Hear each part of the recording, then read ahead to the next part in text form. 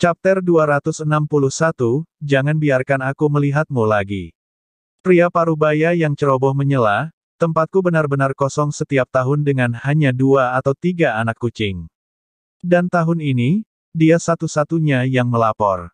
Saya ingin melihat bagaimana Anda ingin merebutnya dari saya. Selanjutnya, dengan saya di sana, dia akan melatih martial soul-nya juga tanpa gangguan apa pun. Paling-paling, saya akan membagikan keadaannya kepada Anda semua. Aku akan membawanya. Kemampuannya juga akan sangat membantunya mengemudikan kapal perang luar angkasa. Fisiknya sangat cocok menjadi pilot. Fakultas Komando tidak menerima bakat seperti dia selama bertahun-tahun. Petik 2. Presiden cantik itu mengerutkan kening, biarkan akademi memutuskan fakultas mana dia akan ditugaskan. Anda hanya dekan fakultas komando luar angkasa pengadilan, apa yang memberi Anda hak untuk datang kepada saya dan membawa seseorang? Kembali, Ying Lohong, jangan pergi terlalu jauh. Bahkan selama hari-hari kami sebagai suami dan istri, ada rahmat yang dalam di antara kami berdua. Meskipun kita berdua telah berpisah, ketika pria parubaya yang ceroboh itu mengucapkan kata-kata ini, wajah cantik presiden itu berubah total. Dia segera berkedip di depannya dan mengangkat tangannya, seolah menamparnya. Di telapak tangannya ada cahaya redup namun terdistorsi. Tubuh pria parubaya yang ceroboh itu sedikit gemetar seolah dia berniat mengelak. Pada akhirnya, dia berhenti dan membiarkan telapak tangannya mengenai dadanya. Wajah presiden cantik, Ying Lohong, berubah. Dia segera menarik telapak tangannya dan dengan ledakan, pria parubaya yang ceroboh itu terlempar keluar ruangan, menabrak dinding di luar. Kenapa kamu tidak menghindar? Ying Lohong bertanya dengan marah.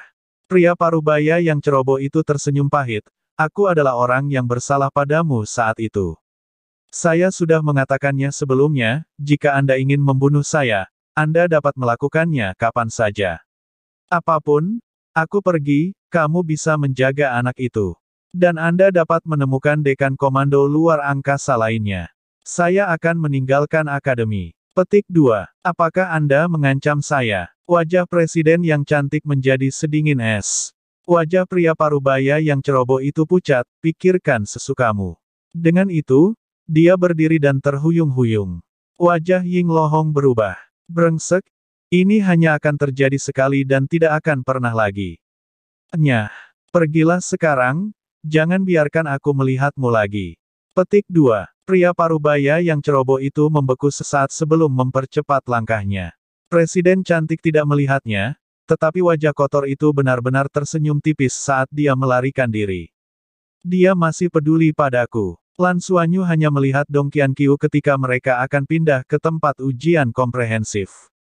Karena penampilan luar biasa mereka dalam eliminasi, Dong Qianqiu dan Lan mungkin telah menarik perhatian dari orang lain, menyebabkan siswa yang tak terhitung jumlahnya kadang-kadang melirik mereka. Ada sejumlah master jiwa empat cincin yang kuat dalam ujian, dengan lebih dari 20 di antaranya mirip dengan Bing Tianliang. Tetapi dalam hal kekuatan, Lan mungkin kemungkinan besar adalah yang terkuat di antara para wanita. Dan yang lainnya yang memiliki banyak perhatian secara alami adalah satu-satunya Master Jiwa Lima Cincin, Yuanen Hui Hui. Dia tampak tidak menyukai orang banyak dan berdiri lebih jauh sendirian. Dia mengabaikan orang-orang yang menyapanya dan mempertahankan ekspresi dingin. Akhirnya, tidak ada lagi yang mau repot-repot menyapa orang yang acuh tak acuh itu. Tetapi semua orang merasa bahwa itu normal baginya untuk menjadi seperti itu dengan kekuatannya. Lan Suanyu secara alami memperhatikan Yuanen Hui Hui juga, Seseorang dengan kekuatan lima cincin jiwa dapat dengan cepat membunuh dua jiwa master cincin jiwa. Semua orang telah menyaksikan pertempuran Yuanen Hui Hui. Martial Soul-nya adalah busur panjang, dan dia mahir dalam serangan jarak jauh. Master jiwa seperti itu akan menekankan pada serangan yang berarti bahwa kemampuan ofensif Yuanen Hui Hui sangat kuat. Menambahkan dukungan dari kekuatan jiwa yang kuat, hampir tidak ada seorang pun di kompetisi yang bisa menghadapi serangan habis-habisannya atau, paling tidak, akan mengalami kesulitan. Tapi dengan kata lain, menggunakan kemampuan ofensif yang kuat berarti kemampuan bertahannya pasti akan lebih lemah. Jadi, metode melawannya adalah menggunakan serangan terkuat mereka untuk mengendalikannya, dan melenyapkannya secepat mungkin. Pikirannya beralih ke Deep Blue Gaze. Bisakah teknik martial Soul Fusion Deep Blue Gaze mengendalikannya? Pada saat ini, Dong Qianqiu secara tidak sengaja menatapnya. Kedua pasang mata itu saling memandang dengan Dong Qianqiu memberinya tatapan bertanya seolah bertanya, apakah ada sesuatu, Lan Suanyu. Lan Suanyu membalas senyuman dan menggelengkan kepalanya, menunjukkan bahwa tidak ada apa-apa. Wajah Dong Qianqiu menjadi dingin dan berpaling, tetapi telinganya jelas sedikit merah. Tepat pada saat ini, Xiaoqi berjalan dan tiba di depan para siswa. Baiklah, ujian akhir akan segera dimulai. Untuk ujian komprehensif akhir, kalian semua akan duduk di pesawat luar angkasa sampai ke lapangan. Izinkan saya mengingatkan Anda semua, semuanya nyata, dan Anda akan menghadapi pertempuran nyata. Anda akan menghadapi musuh yang sebenarnya, musuh yang kejam dan buas. Mereka semua menggunakan kemampuan untuk membunuh Anda. Beberapa guru akan ikut, tetapi kami tidak dapat mengurus Anda semua. Anda semua hanya memiliki satu kehidupan, izinkan saya menekankan hal ini. Ini bukan kabin simulasi atau Soul World. Jika kamu mati, kamu mati. Jika Anda bertahan, Anda bertahan. Pindah, naiklah. Kami akan menuju ke Shrek Space Center. Petik 2. Kita perlu naik pesawat luar angkasa ke tempat pemeriksaan. Apakah kita akan pergi ke planet baru? Petik 1. Kata-kata Xiaoqi mengejutkan semua orang. Nyatanya, tidak semua siswa mendapat dukungan dari guru dan keluarganya setelah memilih mengikuti ujian akhir komprehensif.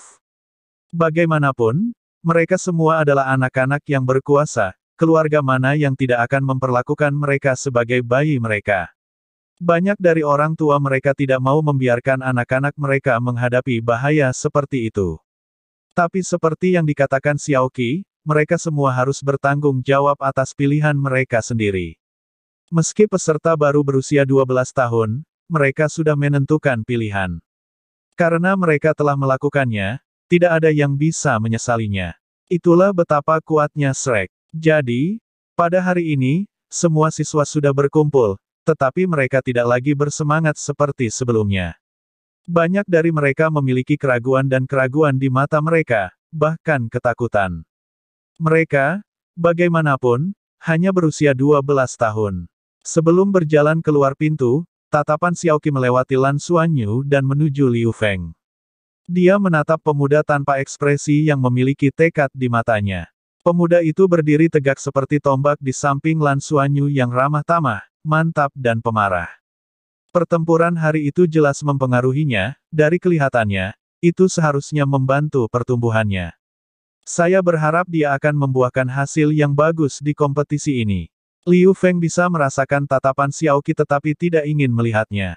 Faktanya, dia tidak yakin bagaimana perasaannya terhadap guru Xiao. Dia dapat dengan jelas mengingat hari di mana dia dipukuli, bagaimana guru Xiao menginjak dan mematahkan tulangnya secara brutal. Ini adalah pertama kalinya dia mengalami rasa sakit yang sebenarnya karena tulangnya patah, dan merasakan sensasi tulang menembus tubuhnya. Dia tidak berani mengingat kejadian itu. Namun, dia dapat mengingat dengan jelas bahwa setelah disembuhkan oleh guru malaikat, itu adalah guru Xiao yang menceritakan seni bela diri kuno kepadanya. Liu Feng dapat mengingat hal terakhir yang guru Xiao katakan kepadanya, jika kamu tidak memiliki cukup bakat, kamu harus mempertaruhkan hidupmu untuk bertarung. Jika kamu tidak berani, pulanglah. Petik 2. Seni bela diri kuno tidak sulit dipelajari dan dapat dikatakan sangat sederhana. Itu adalah seni bela diri kuno yang mengaktifkan darah dan ki seseorang. Tetapi ketika dia memberitahu Guru Ji tentang seni bela diri kuno, Guru Ji benar-benar memberitahu dia efek sampingnya. Itu adalah jenis seni bela diri pengorbanan, jenis yang salah satu pejuangnya harus mati. Ji Hongbin kemudian memperingatkannya secara khusus untuk hanya menggunakannya sebagai pilihan terakhir, dan jangan pernah menggunakannya dengan seenaknya. Mereka meninggalkan gedung dan naik ke kendaraan. Tiga bas bimbingan jiwa mengangkut para siswa keluar dari Akademi Shrek dan menuju Ring Lake Road kota Shrek. Kota Shrek sebenarnya punya Space Center sendiri. Lan Suanyu melihat keluar jendela dan merenung sendiri. Saat mereka berada di Ring Lake Road, mereka dapat melihat Danau Dewa Laut. Meskipun danau itu dikelilingi oleh bangunan, jalannya ditinggikan, mereka dapat melihat melalui struktur dan memiliki pemandangan air danau yang jernih. Pohon abadi tinggi yang melesat ke awan berdiri di tengah. Saat tatapan Lan Suanyu mendarat di batang pohon besar, dia tanpa sadar merasakan kelembutan pada gelabelanya, chapter 262, pindah. Dia menikmati energi kehidupan yang padat di sini karena terasa sangat istimewa dan ajaib baginya. Setelah tiba di sini, dia merasa seolah-olah dia telah berubah menjadi makhluk yang sama sekali baru dan merasakan keengganan untuk meninggalkan tempat itu. Setelah mengemudi selama setengah jam, tiga bas bimbingan jiwa tiba di alun-alun kosong. Setelah turun dari bas, semua siswa berseru kaget. Di depan mereka adalah Space Center. Itu sebenarnya tidak lebih kecil dari ibu kota Ming Federasi tetapi bahkan lebih besar ukurannya. Kota Shrek memiliki kualifikasi untuk memiliki sistem satelit independen. Bahkan ada desas-desus bahwa ini adalah pusat ilmiah sejati federasi. Di bawah bimbingan Xiaoqi, mereka masuk tanpa halangan tanpa pemeriksaan atau prosedur apa pun dan tiba di jantung pusat luar angkasa. Dibandingkan dengan pusat umum, ada jauh lebih sedikit orang di sini sehingga tempat itu praktis kosong. Pusat luar angkasa yang besar sebenarnya kosong. Mereka memasuki wilayah dalam dan berganti ke kapal feri dan kemudian dikirim ke pesawat luar angkasa. Sabuk konveyor pesawat ruang angkasa raksasa itu sudah terpasang di tanah. Mereka melangkah ke ban berjalan dan diangkut ke bagian dalam pesawat ruang angkasa. Semua siswa duduk di kursi yang paling biasa. Saat duduk, Sabuk pengaman logam secara otomatis mengunci mereka di tempatnya. Semuanya, tunggu. Kami akan segera pindah. Suara Xiaoqi keluar melalui komunikasi. Semua siswa bingung dan agak gugup. Akademi Shrek benar-benar terlalu penuh. Sekolah itu benar-benar terbang keluar angkasa hanya untuk ujian. Setelah semua orang duduk, suara gemuruh rendah terdengar. Tanpa peringatan apa pun, pesawat luar angkasa itu lepas landas. Lan Suanyu merasakan kepalanya pusing dan pingsan di bawah gemuruh dan gemetar yang hebat. Kecepatan terbang pesawat luar angkasa tampaknya jauh lebih cepat daripada pesawat ruang angkasa umum, jadi dampaknya jauh lebih kuat. Para pendorong diaktifkan secara maksimal dan segera, mereka menerobos atmosfer. Setelah serangan getaran yang hebat, seluruh pesawat menjadi tenang. Ini berarti mereka telah secara resmi memasuki ruang angkasa. Wajah Lan Suanyu mengungkapkan ekspresi aneh bersama dengan cemberut saat dia diam-diam merasakan perubahan di tubuhnya. Tepat pada saat ini, komunikasi terdengar. Suara Xiaoqi terdengar, selamat datang di perjalanan ujian komprehensif Shrek. Saya tidak tahu apakah Anda semua akan selamat. Tetapi pertama-tama saya akan menekankan hal ini, setiap kata yang akan diucapkan sebentar lagi harus dirahasiakan jika Anda dapat kembali. Untuk ini, Anda semua akan menandatangani perjanjian kerahasiaan saat Anda kembali. Alasan penandatanganan ketika Anda kembali adalah bahwa itu tidak ada artinya bagi mereka yang tidak akan kembali. Petik 2. Dengan ancaman tersebut, atmosfer di dalam pesawat luar angkasa menjadi semakin gelisah. Seorang siswa tidak lagi dapat mentolerir ketegangan dan bertanya, Guru, kita akan pergi ke mana? Xiaoqi, sekarang saya akan menceritakan kepada kalian semua sebuah cerita, yang juga merupakan rahasia milik federasi. Itu juga dianggap sebagai tujuan akhir untuk semua anggota Shrek. Petik 2. Kalian semua pasti menyadari bahwa jumlah siswa di dalam akademi sangat sedikit, tapi kenapa bisa begitu? Itu karena mayoritas dari mereka telah pergi untuk menyelesaikan misi. Petik 2. Ada berbagai perkembangan pesat di Departemen Ilmiah Federasi. Dari pertempuran besar antara benua Sun Moon dan benua Douluo, di mana teknologi panduan jiwa diperkenalkan, itulah awal dari federasi. Sampai kemunculan Battle Armors, teknologi Soul Guidance telah berkembang pesat. Sepuluh ribu tahun yang lalu, perkembangan teknologi panduan jiwa telah menentukan kolonisasi antar planet manusia untuk mengurangi dan mengurangi tekanan pada ibu pertiwi. Beberapa ribu tahun kemudian, Departemen Sains Federasi berkembang dan meningkat secara signifikan. Tidak ada keraguan pada fakta bahwa kita sekarang memiliki berbagai planet administratif dan bahkan makhluk jiwa memiliki planetnya sendiri.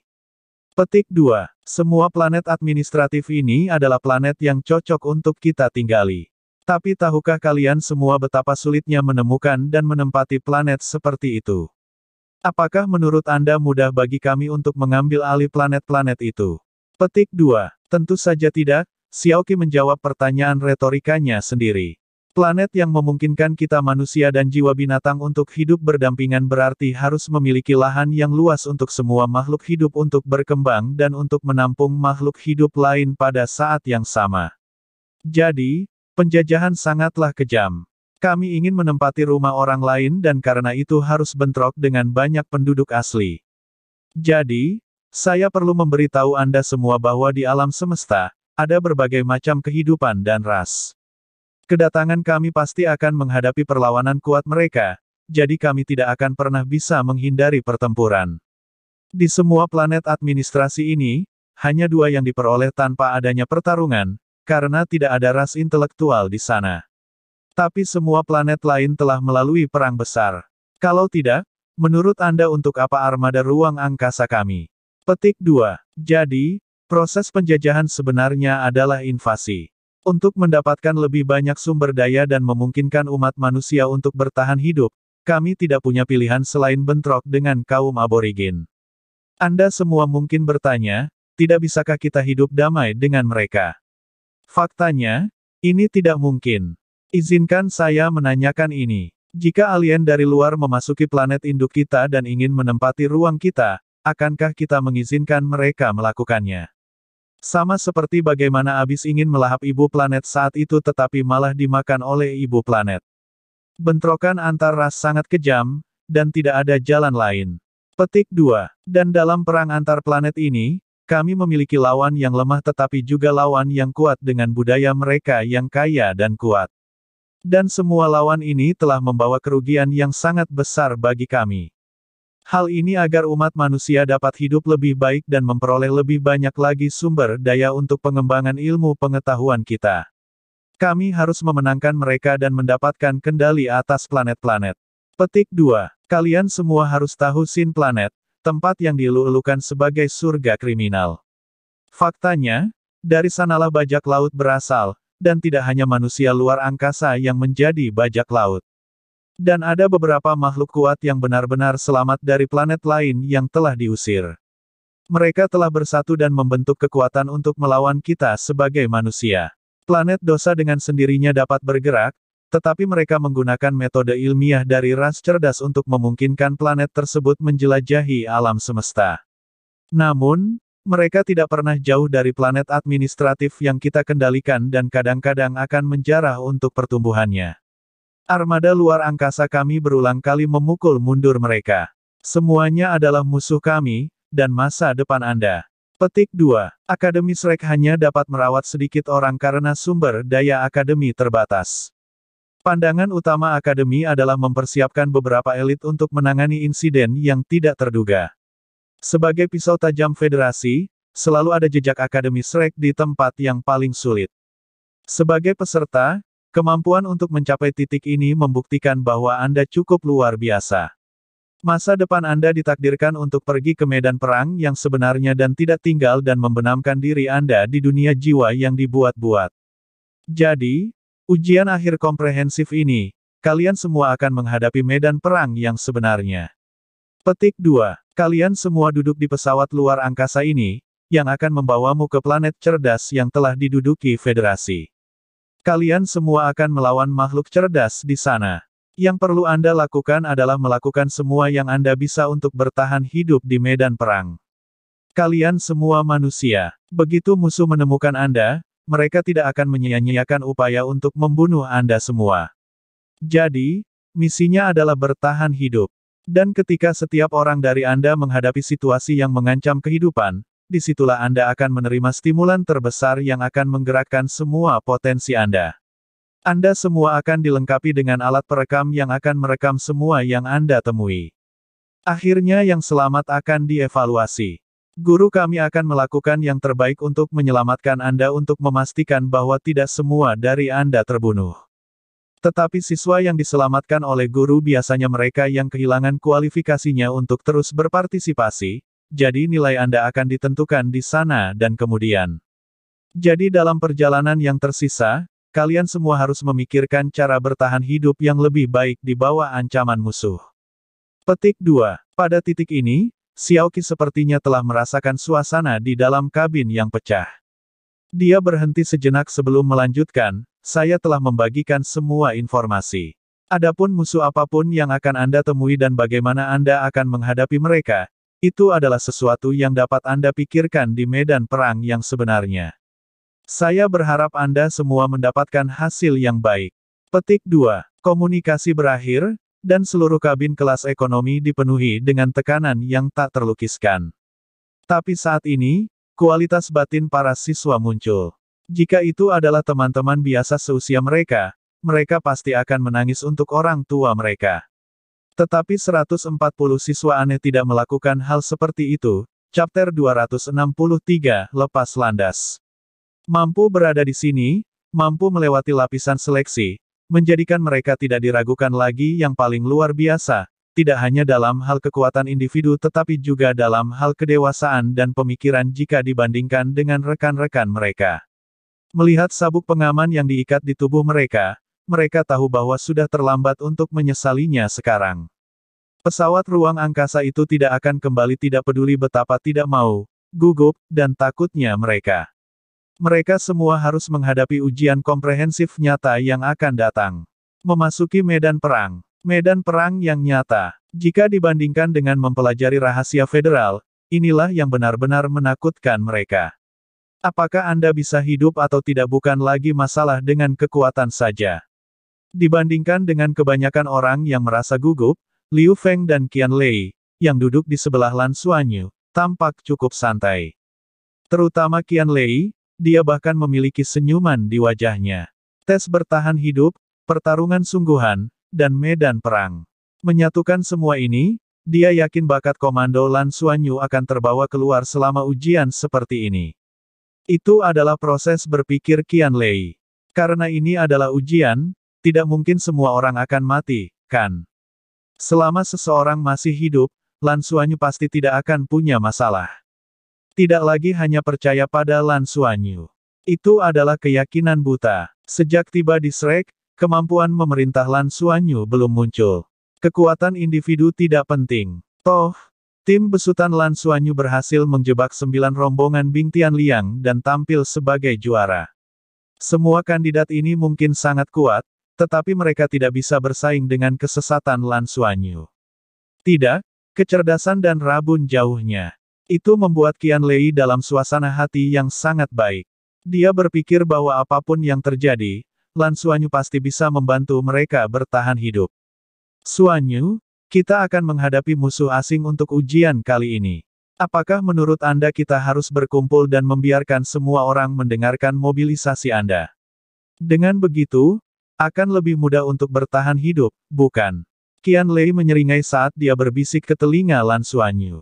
Meskipun dia tidak bersuara, Liu Feng masih bisa mendengarnya.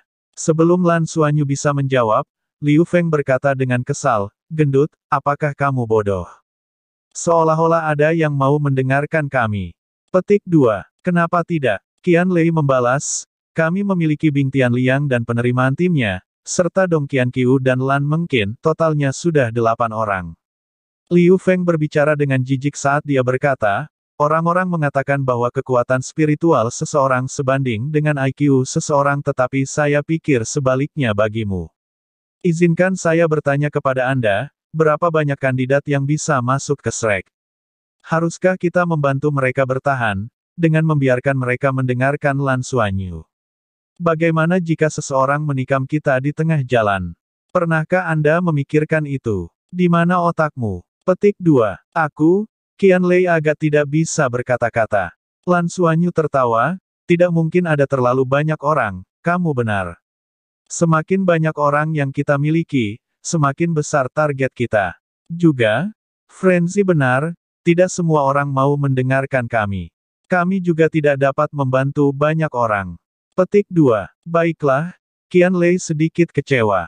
Dia menyadari masalah dengan ide-idenya juga dan dia tidak bisa tidak berpikir bahwa mungkin dia telah bekerja terlalu keras untuk mengembangkan kekuatan spiritualnya akhir-akhir ini, yang mengakibatkan penurunan IQ-nya. Saat kita akan memasuki lompatan hyperspace, harap bersiap untuk tidur nyenyak. Pengumuman itu dibuat dan di saat berikutnya, perisai pelindung yang jelas perlahan naik dan menutupi setiap orang di tempat duduk mereka. Lompatan hyperspace. Apa itu tadi? Semua orang saling memandang, tidak ada yang benar-benar memahami apa yang terjadi. Pada saat berikutnya, Lapisan kabut muncul di perisai pelindung dan kelopak mata mereka tiba-tiba menjadi sangat berat, segera tertidur lelap. Sebelum tidur, Lan Suanyu merasakan perubahan pada tubuhnya, memasuki alam mimpi di saat berikutnya. Lan Suanyu tidak yakin berapa lama waktu telah berlalu ketika dia bangun di tengah guncangan tapi perisai pelindungnya sudah terbuka. Kabut juga hilang. Dia menggosok matanya dan menyadari bahwa banyak orang di sekitarnya masih tertidur lelap, tetapi ada beberapa yang sudah bangun juga. Guncangan di pesawat luar angkasa sangat kuat dan pengumuman lain dibuat, kami akan segera mendarat, harap bersiap-siap untuk dampaknya. Dalam beberapa menit, semua orang bangun, satu demi satu, kebanyakan dari mereka terlihat sangat bingung, 20 menit berlalu dan pesawat ruang angkasa itu mengurangi kecepatannya secara tiba-tiba, perasaan tidak berbobot menyelimuti semua orang, diikuti dengan suara gemuruh rendah, lalu pendaratan selesai. Pesawat ruang angkasa ini benar-benar diuji cobakan dengan cara yang lebih buas daripada pesawat ruang angkasa sipil. Sabuk pengaman dibuka pada saat itu. Turun, suara Xiaoqi datang dari atas. Bersama dengan kandidat lain yang turun dari pesawat ruang angkasa, Lan Suanyu menarik napas dalam-dalam dan menenangkan diri, merasakan perubahan di tubuhnya. Dia berbalik untuk melihat rekan satu timnya dan hatinya menjadi tenang. Ah! Salah satu kandidat di depan, yang sudah turun dari pesawat luar angkasa, berteriak, yang menambah ketegangan bagi kandidat di belakangnya. Mereka akhirnya turun dari pesawat luar angkasa, ekspresi Liu Feng dan Qian Lei juga berubah. Pesawat luar angkasa mereka telah mendarat di bidang datar, yang berarti itu pasti bukan pusat luar angkasa atau sejenisnya.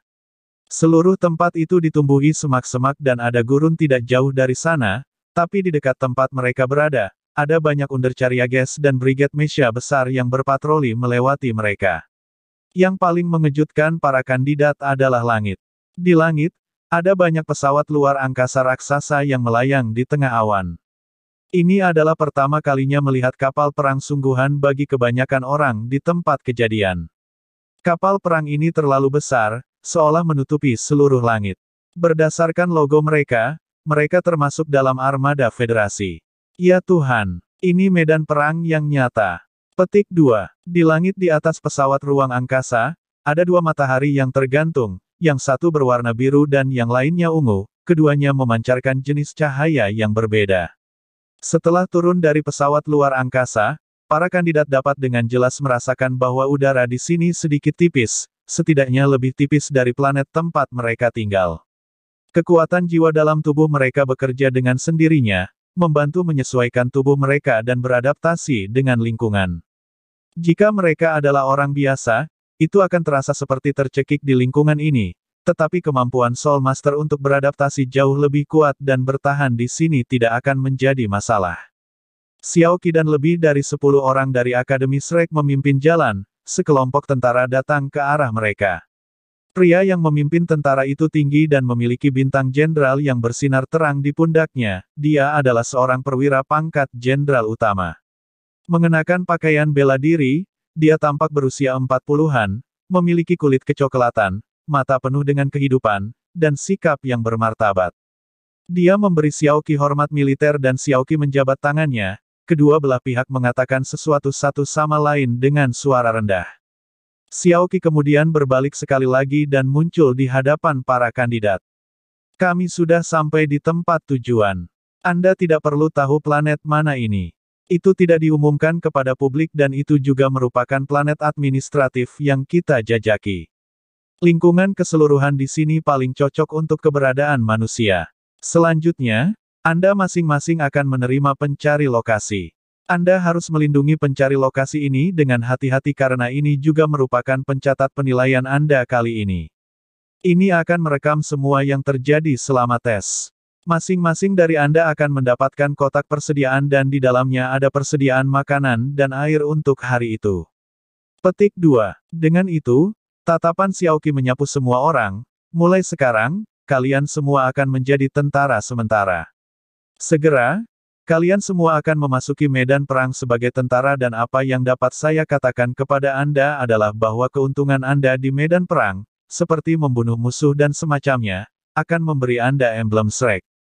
Bahkan jika Anda tidak masuk ke Shrek pada akhirnya, lambang ini dapat digunakan untuk mendapatkan sumber daya di Akademi Shrek. Kandidat yang berhasil masuk, ini juga akan menjadi kelas tempur pertamamu yang sebenarnya, tugas pertempuran pertamamu. Imbalan dari penugasan ini akan bergantung pada usaha Anda sendiri. Nanti, kalian semua akan diterbangkan dan dijatuhkan ke medan perang. Misi Anda adalah bertahan hidup selama tiga hari ke depan atau kembali ke sini menggunakan pencari lokasi. Mereka yang bisa kembali ke sini lebih awal akan mendapatkan poin tambahan. Sistem hadiah lambang tidak akan diumumkan untuk saat ini, tetapi saya yakin tidak ada dari Anda yang akan meragukan keadilan Shrek. Selanjutnya, Anda akan diberikan pencari lokasi dan segera berangkat. Chapter 264, Medan Perang. Suara Xiaoqi yang keras dan jelas bergema di telinga semua orang. Tidak ada waktu untuk istirahat karena mereka harus segera memulai tes. Kira-kira setiap orang memiliki emosi cemas yang sama di dalam hati mereka, tetapi Lan Suanyu adalah salah satu dari sedikit yang mampu mempertahankan ketenangannya. Setidaknya, itulah yang dirasakan Qian Lei dan Liu Feng. Di sisinya, mereka tanpa sadar merasakan perasaan yang sangat tenang. Betapa beruntungnya mereka memiliki rekan setim yang hebat. Beberapa siswa lainnya juga tenang, seperti Lan Mengkin, Dong Qian Qiu, dan Yuenen Hui Hui. Setiap orang diberikan pencari lokasi serta tas persediaan kecil. Lan Suanyu melengkapi pencari lokasi pada dirinya sendiri dan mengotak-atiknya sebentar. Lokasinya sangat sederhana. Mereka tidak dapat menemukan perangkat perekam apa pun di atasnya tetapi dapat melihat posisi mereka dan medan dasar dengan jarak tetap di sekitar mereka, yang agak kasar dan tidak menyertakan topografi tertentu.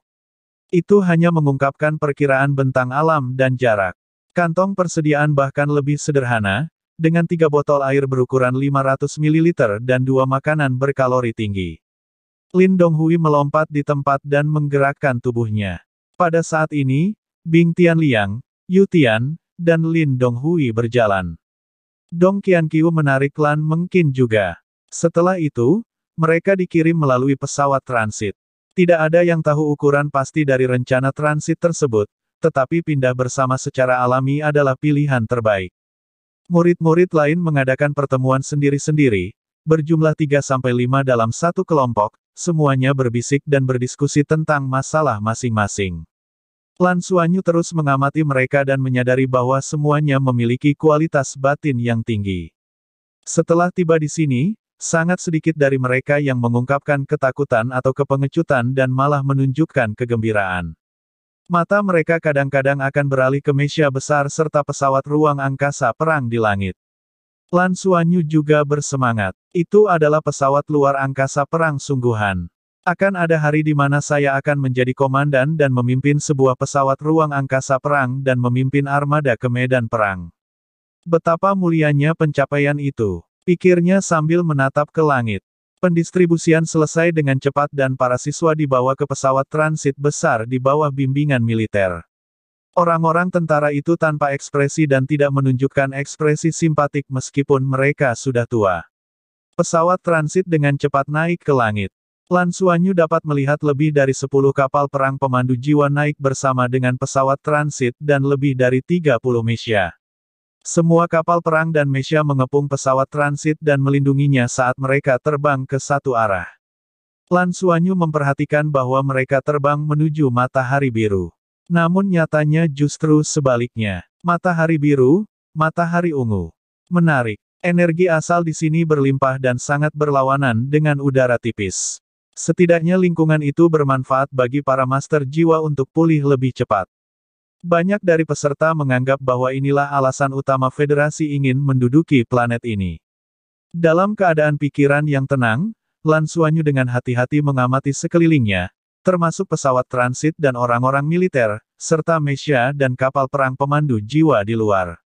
Mereka adalah kapal perang pembimbing jiwa biasa yang bertugas di darat dan relatif lebih kecil dari kapal perang luar angkasa, tetapi jauh lebih gesit. Namun, itu memiliki batasan kecepatan dan ketinggian. Paling banter, itu dua kali lebih cepat dari kecepatan suara. Lan Suanyu menunduk dan melihat lokator di pergelangan tangannya. Di atasnya adalah titik akurat dari pangkalan mereka dan jarak dia jauh darinya. Pesawat terbang sangat cepat dan menempuh jarak lebih dari 100 km hanya dalam 10 menit. Dia tahu bahwa mereka sedang terbang di tepi gurun dan tiba di daerah pegunungan dengan medan yang rumit dengan melihat keluar jendela. Bahkan ada tanaman yang belum pernah mereka lihat sebelumnya. Mayoritas tanaman berwarna biru dan ungu. Setelah 10 menit berikutnya, mereka melewati daerah pegunungan dan telah menempuh jarak lebih dari 200 km. Lan Suanyu tidak bisa berkata-kata. Kembali ke pangkalan dalam tiga hari. Bukankah itu mimpi orang bodoh? Kami harus mencakup seluruh area pegunungan. Tidak apa-apa jika tidak ada musuh, tapi jika ada.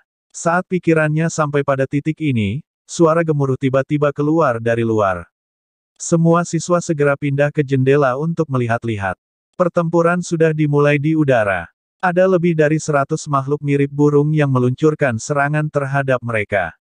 Setiap makhluk ini memiliki dua pasang sayap, yang lebarnya 5 meter saat mengembang sepenuhnya. Tubuh kurus mereka sebagian besar terdiri dari sayap mereka dengan kepala dan perut yang sedikit lebih besar juga hadir. Mereka tidak cepat tetapi mampu melepaskan aura cahaya merah keunguan dari paruh mereka seperti sinar panduan jiwa. Tapi tentara sepertinya sudah terbiasa dengan binatang aneh ini. Mesya di depan bertemu dengan perisai berlapis tebal yang melepaskan energi panduan jiwa dan berubah menjadi perisai energi besar yang memblokir serangan burung aneh. Pada saat yang sama, mereka mampu melepaskan meriam dan sinar pemandu jiwa untuk melakukan serangan balik. Dua kapal perang pemandu jiwa yang menjaga sisi-sisi juga menyerang burung-burung aneh itu. Burung-burung itu terlihat memiliki kulit yang sangat tebal tetapi kekuatan sinar dan meriam penuntun jiwa tidaklah biasa. Dengan sangat cepat, lebih dari sepuluh burung aneh terbunuh sebelum yang lain mulai mundur. Lan Suanyu menyadari bahwa beberapa mesya benar-benar telah terbang menuju tempat hewan burung aneh itu dibunuh. Paman, burung aneh apa itu? Apakah ada rampasan perang yang berharga dari tubuh mereka? Lan Suanyu memandang ke arah seorang tentara dan bertanya. Prajurit itu meliriknya dan menjawab, kami memberikan nama yang paling sederhana untuk monster di sini. Itu adalah burung ungu perut besar. Mereka mahir melepaskan racun korosif, yang merupakan cahaya merah keunguan.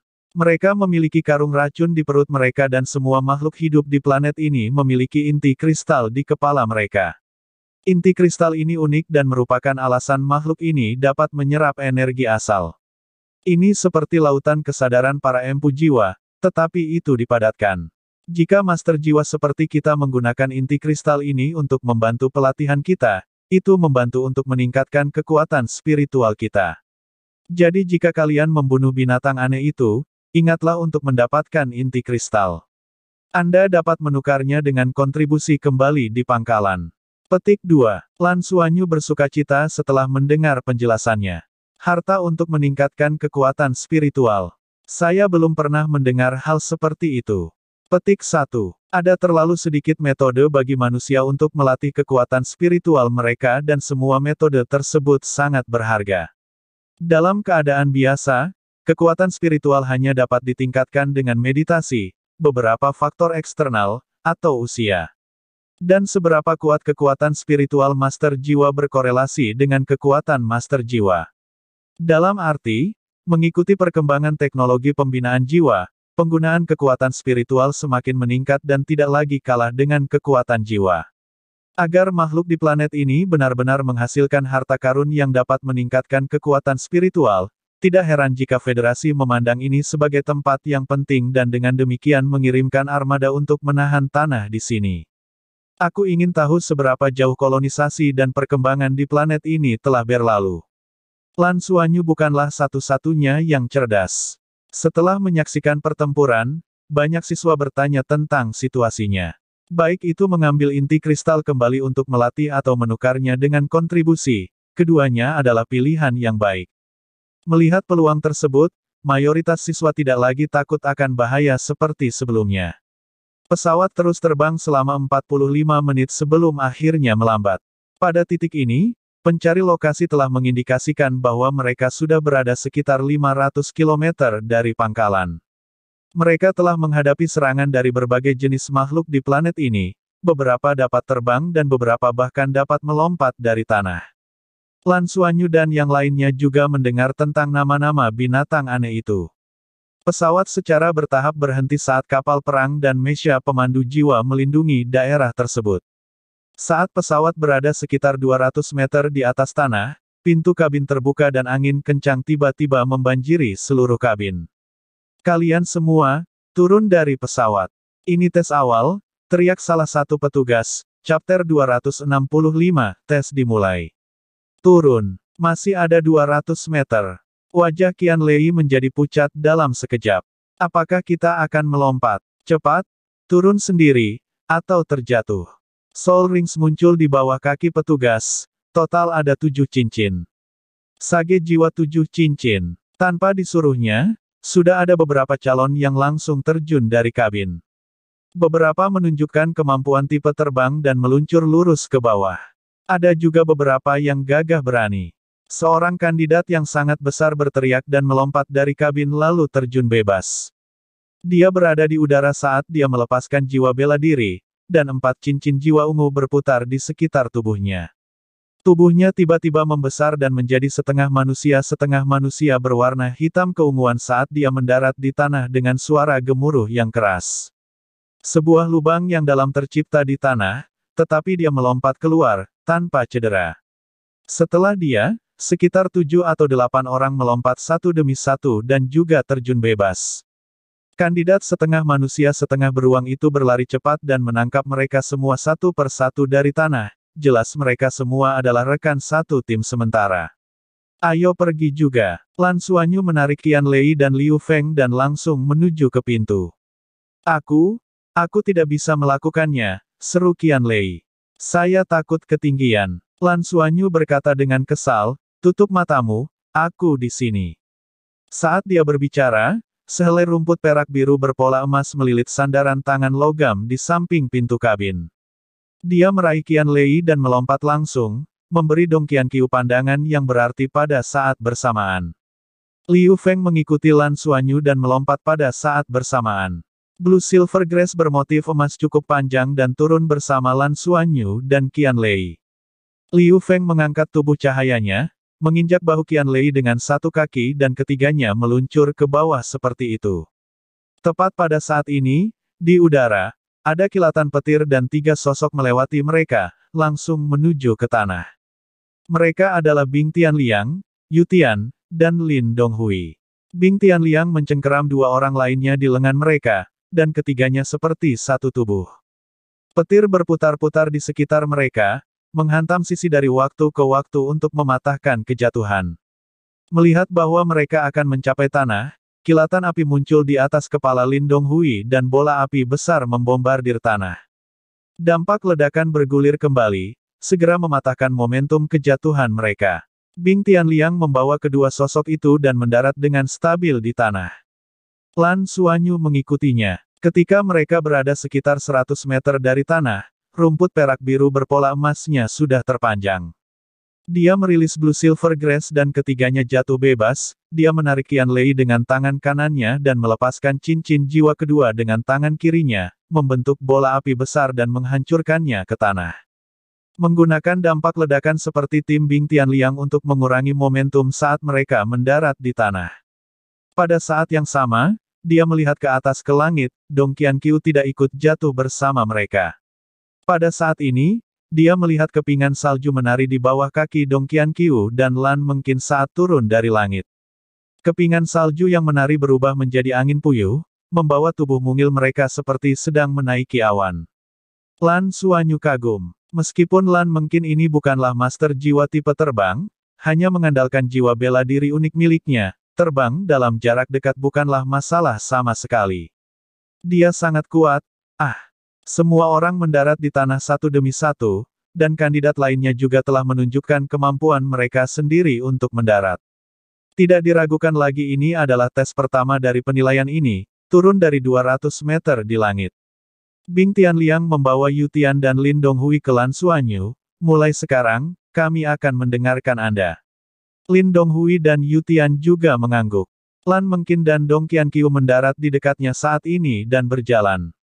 Delapan orang berkumpul bersama, membentuk kekuatan besar. Tepat pada saat ini, Cahaya merah keunguan berkedip-kedip di langit dan sosok yang tenang mendarat dari langit. Saat dia mendarat, dia segera mempercepat dan menghilang dari garis pandang semua orang dalam beberapa detik, itu adalah Yuanen Hui Hui. Lan Suanyu melihat rekan-rekannya di sebelahnya dan berkata, sebelum kita berangkat, saya harus menjelaskan beberapa hal. Pertama, tolong dengarkan perintah saya sesuai perjanjian kami sebelumnya. Jika menurut Anda perintah saya salah atau bermasalah, Anda harus menunggu hingga situasi selesai sebelum Anda mengangkatnya atau meninggalkan tim. Kami adalah tim mulai sekarang dan jika kami berpisah ketika dihadapkan pada suatu situasi, kami semua mungkin dimusnahkan. Semua orang mendengar apa yang Guru Xiaoqi katakan, ini adalah medan perang yang nyata, dan apa yang akan kita hadapi adalah ujian nyata hidup dan mati. Kita semua adalah orang pintar, jadi saya rasa saya tidak perlu menjelaskan lebih jauh. Petik 2. Bing Tianliang mengangguk dan menatap Lan Mengkin. Lan Mengkin mengangkat bahu, jika hidupku benar-benar dalam bahaya, jangan salahkan aku karena melarikan diri. Lan Suanyu berkata, itu wajar. Jika itu benar-benar terjadi, serahkan pada nasib kita. Kedua, semua orang seharusnya sudah mendengarnya di dalam pesawat. Otak makhluk hidup di sini akan menghasilkan inti kristal. Inti kristal ini dapat meningkatkan kekuatan spiritual kita, sangat berharga dan kita dapat menukarnya dengan emblem Shrek sesudahnya. Sebelum kita berangkat, kita harus mengalokasikan harta rampasan perang dulu untuk menghindari perselisihan nanti.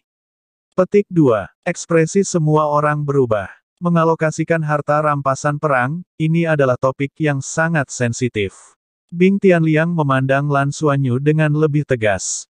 Mampu memikirkan masalah tersembunyi ini pada saat ini, orang ini sebenarnya tidak sederhana, itu tidak terlintas dalam pikirannya sama sekali. Lan mungkin berkata, bagaimana kita harus berpisah? Lan Suanyu berkata, kami memiliki delapan orang, kami akan membagi rampasan perang menjadi sepuluh bagian dan saya ingin tiga dari mereka. Sedangkan sisanya, masing-masing akan mendapatkan satu. Kami adalah satu tim, ini pertama kalinya kami bekerja bersama jadi kami akan berpisah secara merata. Lan mungkin tertawa terbahak-bahak, kamu menyebut ini pemisahan secara merata. Lalu mengapa Anda mendapatkan tiga? Saya yang terkuat, mengapa saya tidak mendapatkan lebih banyak? Dua di antaranya hanyalah dua cincin. Saat dia berbicara, dia menunjuk dengan bibirnya ke arah Liu Feng dan Qian Lei. Lan Suanyu berkata dengan tegas, setiap orang di tim memiliki peran yang harus dimainkan. Saya ingin tiga porsi karena saya yang paling bertanggung jawab. Saya akan menjadi komandan seluruh tim, perekat tim. Dengan saya di sekitar, semua kemampuan Anda akan ditingkatkan setidaknya 30%, dan baik Kian Kiu dan saya memiliki teknik perpaduan jiwa bela diri. Jika Anda tidak setuju, Anda dapat mundur sekarang. Saat ini, dia tampak sangat kuat. Terkadang, anda hanya perlu mengambil otoritas seperti itu. Lan mungkin ingin mengatakan lebih banyak, tetapi Dong Qianqiu menariknya kembali. Lan Suanyu berkata, kami akan bergerak sebagai satu tim. Ada total tiga hari. Jika kami tidak dapat kembali ke pangkalan dalam tiga hari, kami masih tidak yakin bagaimana cara untuk pergi. Kalian dapat melakukan ini, bergerak bersama sebagai tim untuk mencobanya dan jika Anda merasa bahwa di bawah kepemimpinan saya, keuntungan Anda berkurang, maka Anda dapat memilih untuk melanjutkan sendiri. Bagaimanapun, kami akan terus melanjutkan. Tapi saya perlu menekankan lagi bahwa meskipun Anda ingin mundur, Anda hanya dapat melakukannya jika sudah aman. Petik 2. Baiklah, coba dulu. Kata Lan Mengkin. Lan Suanyu memandang Bing Tianliang dan setelah dia merenung sejenak, dia mengangguk. Dia ingat dengan jelas bagaimana Lan Suanyu menipunya sebelumnya dan ketika mereka bekerja bersama, mereka berhasil membunuh binatang jiwa 10.000 tahun dan menuai cukup banyak darinya. Lingkungan terbuka semacam ini tidak diragukan lagi paling cocok untuk Lan Suanyu untuk menampilkan kemampuannya. Dengan banyak kesempatan baginya untuk menampilkan kemampuannya ditambah dengan tim yang kuat, dia pasti bisa mendapatkan lebih banyak lagi. Lan Suanyu yang menginginkan tiga porsi rampasan bukanlah jumlah yang kecil, tapi ini mengancam nyawa, memastikan keselamatan mereka bahkan lebih penting daripada menuai hasilnya. Juga, untuk Bing Tian Liang, Liang Sushi tidak lagi bisa masuk ke Shrek, dia harus melakukan segalanya untuk memastikan bahwa kedua mitranya bisa masuk bersamanya. Melihat semua orang setuju, Lan Suanyu berkata, baiklah, ayo pergi. Frenzy, Anda menemukan jalan, Fatih dan saya akan berada di tengah. Bing Tian Liang, kalian bertiga akan berada di depan, sedangkan Qian Qiu dan Lan mungkin akan berada di belakang kalian. Berjalan ke arah itu. Petik 2. Lan Suanyu melihat ke pencari lokasi dan menunjuk ke suatu arah, chapter 266, bergerak ke arah yang berlawanan. Semua orang menunjukkan ekspresi terkejut ketika mereka melihat lokator mereka. Liu Feng sudah melompat keluar dan sedang mencari jalan setapak. Meskipun Bing Tian Liang dan ketiganya terkejut, mereka mendengarkan perintah tersebut dan terus bergerak. Hanya Lan Mengkin, yang berada di belakang, berbicara, bertanya, bukankah kita harus menuju ke arah kembali ke markas? Mengapa kita malah bergerak ke arah yang berlawanan? Petik 2. Lan Suanyu menatap lurus ke matanya dan menjawab, saat ini kami berada lebih dari 500 km dari markas, dengan wilayah pegunungan antara kami dan markas. Saya tidak berpikir bahwa akan mungkin untuk kembali ke pangkalan dengan lancar tanpa bisa terbang dalam tiga hari. Dan saya percaya bahwa pencari lokasi pada tubuh kita juga merupakan alat pemosisian yang memungkinkan para guru untuk menemukan kita dengan mudah. Selama proses pengiriman dari markas ke sini, kami tidak pernah menemui serangan yang kuat. Artinya dalam 500 km, tidak ada monster alien khusus. Kami mungkin bisa bertahan lebih baik, tapi kami tidak akan mendapatkan banyak. Ada delapan dari kita dan kekuatan kita secara keseluruhan tidak lemah. Akademi tidak akan menempatkan kita dalam lingkungan percobaan yang akan membuat kita terbunuh dalam satu detik. Jadi dengan pertimbangan ini, kita harus menuju ke perbukitan di sana. Ini medan yang rumit, jadi kita mungkin bisa bertemu lebih banyak makhluk asing untuk diburu dan hadiah kita mungkin lebih besar. Lan mungkin, saya akan menjelaskan ini kepada Anda dengan jelas, dan hanya sekali ini. Tidak akan ada waktu berikutnya, saya berharap semua orang akan bergerak sesuai dengan apa yang saya katakan. Karena ketika bahaya datang, keraguan sekecil apa pun tidak hanya akan menyebabkan bahaya menimpa seseorang, bahkan dapat menyebabkan rekan satu tim kita dalam bahaya. Apakah kamu mengerti apa yang saya maksud? Petik 2. Lan Suanyu menatap lurus ke arah Lan Mengkin dan berbicara dengan nada serius. Lan Mengkin terkejut, tatapan matanya benar-benar berbeda dari sebelumnya. Orang ini benar-benar berbeda dari yang lain. Oh, dia menurut dan tidak lagi bersuara. Lan Suanyu tidak punya pilihan lain. Jika bukan karena kekuatan absolut Lan Mengkin, dia tidak akan mau membawa faktor yang tidak stabil seperti itu, yang mengharuskan dia untuk menjelaskan keputusannya. Tetapi dia dapat mengetahui dari koordinasi Lan Mengkin dan Dong Qian Qiu bahwa mereka memang mampu melepaskan kekuatan yang kuat ketika dipasangkan bersama. Itu sangat membantu secara keseluruhan. Dia sekarang berharap Lan mungkin akan dapat berasimilasi sepenuhnya ke seluruh tubuh dan tidak membawa masalah. Jika masalah nyata datang, dia akan segera memikirkan cara untuk berpisah darinya, sedemikian rupa sehingga dia bahkan rela membiarkannya dan Dong Qian Qiu pergi bersama. Pemisahan kedua belah pihak malah mungkin lebih aman bagi mereka. Kelompok itu maju dengan cepat. Seperti yang telah disebutkan Lan Suanyu, daerah perbukitan ditutupi dengan tumbuhan tetapi tidak terlalu lebat. Semua tumbuhan ungu dan biru memiliki energi kehidupan tetapi tidak memancarkan banyak fluktuasi energi. Mereka jelas bukan makhluk jiwa tipe tumbuhan. Tidak ada yang tahu jika mereka aman untuk dikonsumsi. Tidak lama setelah memasuki area perbukitan, semua orang mendengar semburan suara mendesis, datang dari kiri, di depan mereka. Kedengarannya seperti binatang buas yang mereka temui sebelumnya. Berhenti sebentar, Lan Suanyu memberi isyarat dan membuat semua orang bersembunyi di vegetasi. Liu Feng kembali tidak lama kemudian dan menemukan semua orang dari penanda yang telah ditinggalkan Lan Suanyu. Ada banyak binatang aneh di dalam area perbukitan. Ada pertempuran yang terjadi di sana dan lebih dari sepuluh binatang aneh terbunuh. Dari kelihatannya, itu dilakukan oleh Yuenen Hui Hui. Dia benar-benar memasuki wilayah ini sebelum kita. Petik 2. Semua orang kaget. Mereka telah melihat kekuatan binatang aneh di udara. Semua binatang aneh di planet ini, atau setidaknya yang mereka lihat, tidak terlalu kuat tetapi sama sekali tidak lemah. Itu hanya mengungkapkan seberapa kuat UNN Hui Hui telah membunuh 10 binatang dalam waktu yang singkat. Namun, dia sendirian dan tidak bekerja sama dengan siapa pun. Faktanya, karena kekuatan individualnya yang luar biasa, tidak mungkin baginya untuk bekerja sama dengan orang yang jauh lebih lemah.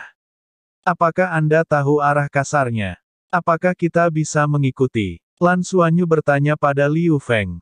Liu Feng menganggukkan kepalanya dan menjawab, saya bisa membuat perkiraan kasar. Karena dia hanya peduli tentang pertempuran, saya bisa mengikutinya. Petik 2. Lan Suanyu bertanya, apakah ada banyak binatang aneh di daerah perbukitan ini? Cukup banyak, jawab Liu Feng. Saya baru saja menemukan beberapa kelompok. Semua makhluk asing ini tampaknya berkumpul, kelompok terkecil adalah 7 hingga 8 dan yang terbesar sejauh ini kumpulan lebih dari 100. Petik 2. Mata Lan Suanyu menyipit. Bagus, terus ikuti Yuenen Hui Hui. Tinggalkan penanda untuk kami dan kami akan bergerak di dekatnya. Petik 2. Baiklah, Liu Feng berbalik dan segera pergi. Lan Suanyu telah memberinya buff lain dengan Blue Silver Grass berpola emas, yang membuatnya bisa meledak dengan kecepatan yang meninggalkan serangkaian bayangan. Ini menyebabkan Lan Mengkin dan Bing Tianliang saling melirik. Lan Suanyu berbisik, untuk periode waktu berikutnya, strategi pertempuran kita adalah bertarung di dekat UNN Hui Hui. Dia sombong dan kuat, jadi dia pasti akan membunuh setiap binatang aneh yang dia temui dan akan menuju ke tempat binatang aneh itu secara spesifik. Karena makhluk hidup asing di sini hidup berkelompok, itu berarti mereka sangat bersatu. Begitu dia membunuh beberapa lagi, mereka pasti akan mulai mengelilinginya. Dia akan menjadi daya tarik utama untuk sejumlah besar binatang aneh di sini. Tidak peduli seberapa kuat dia secara individu, tidak mungkin baginya untuk berbenturan langsung dengan semua jumlah binatang aneh di sini, jadi bertarung sambil bergerak adalah pilihan terbaik. Kami akan berkeliaran di belakangnya dan membunuh binatang aneh tersebar yang mengikutinya. Dengan dia sebagai daya tarik, kami akan jauh lebih santai. Petik 2. Mulut Lan mungkin bergerak-gerak, bertanya, apakah kita memanfaatkan dari belakang? Lan Suanyu menjawab tanpa bergeming, bagaimana ini bisa dimanfaatkan? Kami membantunya melawan musuh-musuhnya dan mengurangi tekanan yang diberikan padanya. Petik 2. Lan mungkin tiba-tiba merasa tidak mungkin mempercayai ekspresi bocah itu. Mereka jelas-jelas mengambil keuntungan, tapi dia bisa bernalar dengan sangat baik. Itu benar-benar omong kosong yang mematikan dan sungguh-sungguh. Tapi apakah kamu mempertimbangkan itu dengan melakukan itu, ganjaran kita pasti akan lebih kecil darinya. Dia sangat kuat dan secara alami akan membunuh banyak binatang aneh. Kontribusinya pasti akan lebih tinggi dari kita, Lan mungkin mengerutkan kening. Lan Suanyu terbatuk untuk membersihkan tenggorokannya, dia hanyalah satu orang yang dikejar oleh banyak binatang aneh. Dia akan sibuk dan mungkin tidak dapat mengambil semua inti kristal.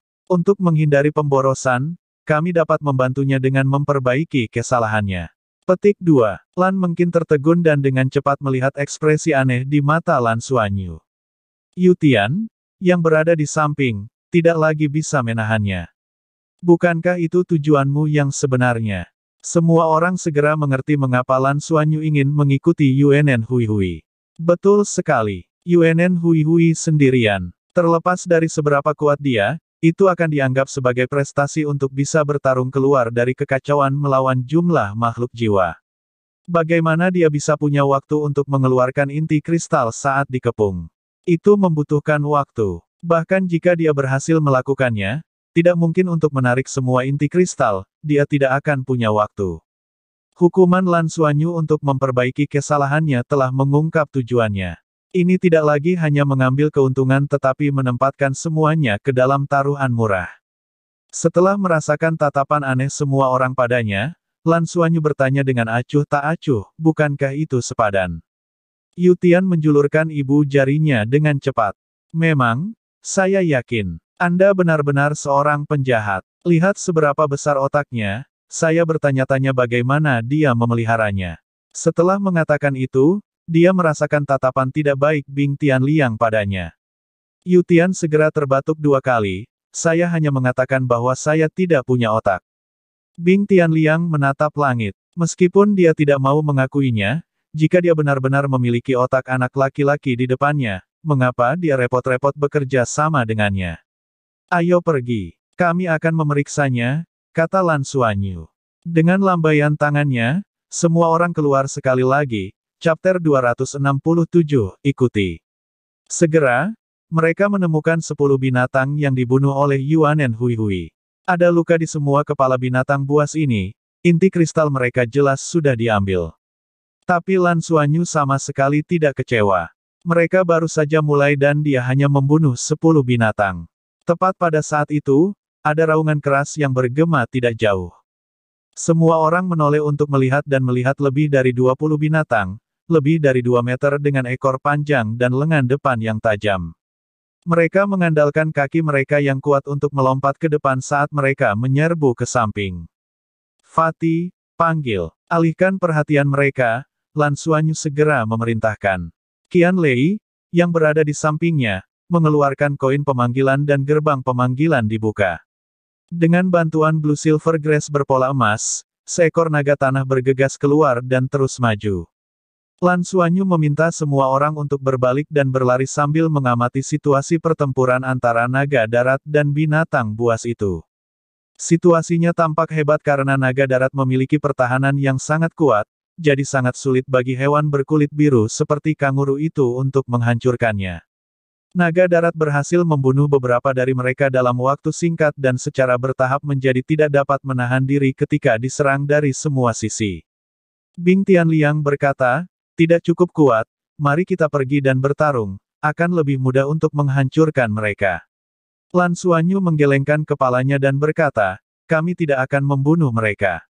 Melepaskan keterampilan jiwa akan menguras kinerja fisik kami.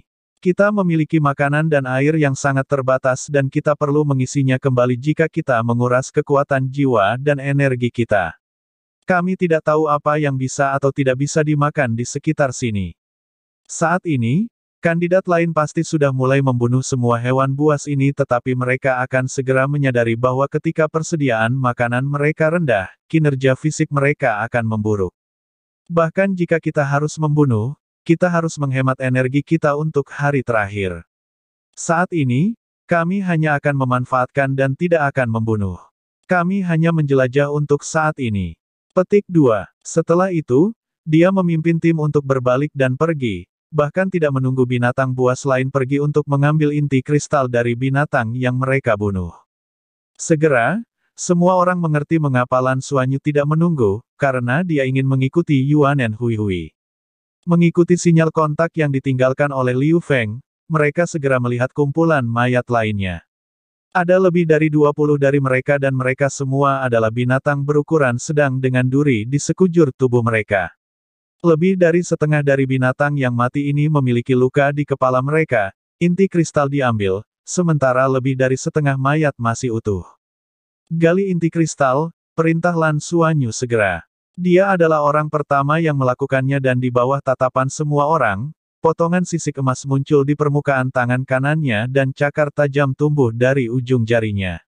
Cakarnya menusuk kepala binatang itu seperti dia sedang memotong tahu dan dia mengambil inti kristal, yang kira-kira seukuran koin tembaga, dari kepalanya. Di sisi lain, Yu Tian mengacungkan Mo Sword-nya untuk dipotong dan masih tidak secepat dia. Aku akan melakukannya, aku cepat, kalian tetap waspada, Lan Suanyu berbicara, dengan cepat mengambil semua inti kristal. Yang mengejutkan semua orang adalah setelah dia mengambil semua inti kristal, dia tidak menyimpannya untuk dirinya sendiri. Sebagai gantinya, dia menyerahkan semuanya ke Lan Mengkin. Kamu yang terkuat, kamu harus menjaganya. Jika kami berpisah atau sesuatu terjadi, Anda akan membawanya keluar dan membaginya dengan semua orang. Petik 2. Lan mungkin mengambil inti kristal dan terus menatap tangan kanan Lan Suanyu, yang tertutup sisik emas. Dia tidak tahu mengapa tetapi ketika dia melihat tangannya, dia berdebar ketakutan. Seolah-olah ada sesuatu yang menakutkan tersembunyi di tubuhnya. Lanjutkan, kata Lan Suanyu, memimpin tim ke depan. Panen kali ini membuktikan bahwa dia benar. Yuanen Hui Hui mungkin kuat tetapi dengan begitu banyak binatang buas, dia tidak punya cukup waktu untuk mengambil semua inti kristal. Segera, mereka melihat tujuh hingga delapan mayat binatang buas itu tetapi tidak ada inti kristal yang tertinggal kali ini. Mungkin karena kelompok binatang lebih kecil, Yuanen Hui Hui punya waktu untuk menggali inti kristal. Dari beberapa pertempuran ini, terlihat jelas bahwa Yuanen Hui Hui sangat kuat. Hanya dalam beberapa jurus, dia berhasil membunuh tiga gelombang monster alien. Lan mungkin berada di belakang tim, menyenggol Dong Qianqiu, sedikit ketidakpuasan muncul di matanya yang indah. Dong Qianqiu mengenalnya untuk waktu yang sangat lama, jadi dia secara alami mengerti apa yang dia maksud. Di Heaven Luo Planet, Lan mungkin adalah orang nomor satu sejati dari generasi muda dan sangat belecapa. Menurutnya, Apa pun yang bisa dilakukan Yuanen Hui Hui, dia juga bisa melakukannya. Delapan dari mereka hanya mengikuti di belakang dan mengambil sisa makanan, mendapatkan hampir sepuluh inti kristal. Juga, kekuatan keseluruhan mereka secara keseluruhan harus lebih kuat dari Yuanen Hui Hui. Bahkan jika mereka harus bertarung lebih dulu dengan sekelompok binatang, mereka harus bisa menghadapinya dan menuai panen yang lebih besar. Mengapa mereka harus melakukan ini? Apa yang dikatakan Lan Suanyu masuk akal tetapi ini sepertinya terlalu berhati-hati. Itu juga sedikit tercela dan itulah yang tidak dia sukai. Dong Qianqiu menggelengkan kepalanya sedikit ke arahnya. Dibandingkan dengan semua orang di sana, selain Liu Feng dan Qian Lei, dia adalah orang yang paling sering bertarung bersama Lan Suanyu, jadi dia tahu kemampuannya yang terbaik. Orang itu sering kali bisa mengubah busuk dan busuk menjadi langka dan halus, jadi pasti ada alasan mengapa dia begitu berhati-hati. Lan mungkin cemberut tetapi tidak mengatakan apa-apa pada akhirnya. Tepat pada saat itu, sebuah sosok melintas di depan mereka dan menuju ke arah mereka, Liu Feng yang kembali. Sosok Liu Feng bergerak cepat dan mendarat di depan Lan Suanyu dengan tombak naga putih di tangannya saat dia berbisik, Yuanen Hui Hui telah menghadapi bahaya, ada ratusan binatang yang mengelilinginya. Mata Lan Suanyu berbinar dan dia berkata, Pimpin jalan, mari kita lihat. Liu Feng berbalik dan memimpin saat semua orang mengikuti di belakang, mempertahankan formasi mereka. Mereka melewati dua bukit yang tingginya sekitar 300 meter dan melihat dari kejauhan sosok yang mirip bintang. Ia melompat sangat cepat di perbukitan dan ada cahaya yang melesat ke sekelilingnya dari waktu ke waktu. Pada saat itu, Lan Suanyu dan yang lainnya sudah berada di atas sebuah bukit kecil. Mereka dapat melihat semua yang terjadi di bawah dari posisi itu. Setidaknya ada lebih dari seratus binatang datang dari segala arah. Binatang buas ini bukan dari kelompok yang sama karena mereka memiliki bentuk yang berbeda. Berlari di depan jelas Yuanen Hui Hui dan dia sepertinya berada dalam posisi yang sulit saat ini, dengan ratusan binatang mengejarnya. Saat dia berlari, Busur roh bintang ungu di tangannya terus menembakkan panah dan melukai beberapa binatang dari waktu ke waktu. Namun, jumlah musuhnya terlalu besar, jadi dia hanya bisa mengandalkan kecepatannya untuk mencoba mencari tempat untuk lari. Binatang buas ini sepertinya sangat membencinya dan mereka sangat akrab dengan medan, jadi mereka terus mengelilinginya. Haruskah kami membantu? Bing Tianliang berbalik dan bertanya pada Lan Suanyu. Lan Suanyu menggelengkan kepalanya dan berkata, jangan terburu-buru. Amati dulu. Petik 2. Meskipun Yuanen Hui Hui berada di sudut yang sempit, dia masih berkultivasi dan tidak lambat sama sekali, kemungkinan dikepung sepenuhnya sangat rendah. Juga, Lan Suanyu dapat mengetahui dengan sekilas bahwa meskipun dia sedang berlari, dia sedang berlari di dalam area tertentu. Jelas bahwa dia tidak tahan meninggalkan tubuh binatang buas yang telah dia bunuh. Di antara binatang buas yang mengejarnya, ada satu jenis yang sangat cepat dan merupakan ancaman terbesar baginya. Binatang jenis ini memiliki tubuh biru tua dengan tanda ungu. Mereka memiliki tanduk di kepala mereka dan punggung mereka ditutupi duri pendek. Mereka memiliki empat anggota tubuh dan bisa berlari seperti angin. Pengejaran merekalah yang menyebabkan Yuanen Hui Hui menjadi lesu. Binatang buas yang tampak seperti macan tutul ini juga merupakan kekuatan utama pengepungan. Hanya dalam beberapa saat, ada lebih dari sepuluh mayat di daerah itu, tetapi sebagian besar monster masih mengejarnya tanpa henti. Lan Suanyu dan rekan-rekannya sedang mengamati dari atas bukit. Dia tampak sangat tenang dan tidak punya niat untuk membantu. Semuanya, harap perhatikan kemampuan Yuanen Hui Hui, Lan Suanyu mengingatkan mereka. Tidak ada keraguan bahwa hanya di tengah bahaya seseorang akan menunjukkan kemampuan terkuatnya. Sebagai master jiwa yang kuat dengan lima cincin, elit di antara rekan-rekannya, semua orang jelas memperhatikan kemampuan Yuanen Hui Hui, chapter 268, Yuanen Hui Hui yang gagah berani. Hanya melihat UNN Hui Hui, semua orang tahu bahwa dia pasti akan masuk ke Akademi Shrek. Jika mereka dapat mendaftar juga, mereka akan menjadi teman sekelas UNN Hui Hui serta pesaing. Jelas itu pilihan terbaik untuk mengambil kesempatan dan mengamatinya. Tepat pada saat ini, UNN Hui Hui sepertinya menjadi cemas karena pengejaran. Saat dia terbang ke depan, cahaya berkedip di matanya saat cincin jiwa di tubuhnya mulai berubah. Cincin jiwa kedua berkedip dan aura hijau gelap muncul di busur roh bintang ungu di tangannya. Dia sesekali berbalik dan menembak sambil berlari, panah terakhir yang dia keluarkan benar-benar berubah menjadi hijau tua. Seolah-olah anak panah itu memiliki mata, secara akurat mengenai macan tutul biru di belakangnya. Macan tutul biru mendesis setelah ditembak tetapi tampaknya tidak terluka parah, hanya lapisan kabut hijau tua yang muncul di sekitar tubuhnya. Lan Suanyu menelitinya dan menemukan bahwa setelah terinfeksi oleh kabut hijau tua, ia mulai menyebarkannya ke macan tutul biru lainnya. Kabut hijau tua itu ternyata bisa menginfeksi orang lain. Kecepatan macan tutul biru pertama melambat secara dramatis, tidak lagi mampu memimpin pengejaran UNN Hui Hui. Semua macan tutul biru yang terinfeksi mulai melambat juga sampai mereka jatuh. Itu hanya anak panah tetapi tujuh hingga delapan macan tutul biru terbunuh dalam waktu singkat. Keterampilan jiwa keduanya mengandung racun yang dapat menginfeksi orang lain, gumam Lan Suanyu pada dirinya sendiri. Kematian macan tutul biru sangat mengurangi tekanan pada UNN Hui Hui. Saat dia berlari, dia menembakkan beberapa panah beracun ke arah binatang aneh yang mengejarnya. Di bawah pengaruh kabut racun, semakin banyak binatang aneh mulai berjatuhan. Kelompok di lereng sangat terkesan dengan taktik bertarung. Jika terus seperti itu, siapa yang tahu jika UNN Hui Hui bisa membunuh semua seratus binatang aneh yang aneh. Bagaimanapun, itu hanya keterampilan jiwa keduanya. Dia memiliki kultivasi dan kekuatan jiwa senilai lima cincin untuk mempertahankan keterampilan jiwanya. Selain terkejut dengan kekuatan UNN Hui Hui, mereka semua menjadi sedikit cemas. Saat ini, mereka hanya mendapatkan 10 inti kristal. Itu berarti setiap orang hanya memiliki satu atau dua, sementara UNN Hui Hui sendiri memiliki setidaknya 10. Dia bahkan mungkin berpenghasilan lebih dari 100. Perbedaannya terlalu besar. Seolah merasakan kecemasan pada rekan-rekannya, Lan Suanyu menoleh untuk melihat mereka dan berbisik, jangan tidak sabar. Dia sedang menunggu, dan apa yang dia tunggu tidak memakan waktu lama.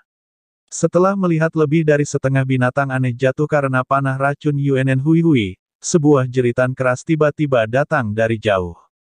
Dari posisi mereka, kelompok itu dapat melihat sosok biru menyerupai sambaran petir menyapu.